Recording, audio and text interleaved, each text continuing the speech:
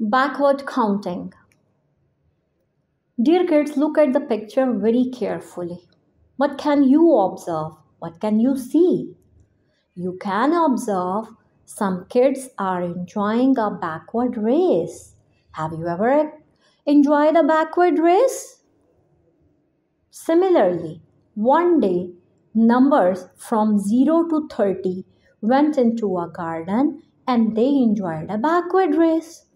When a boy saw them, he started shouting, Backward counting, backward counting. Yes, 30, 29, 28, 27, 26, 25, 24, 23, 22, 21, 20, 19, 18, 17, 16, 15, 14, 13, 12, 11, 10.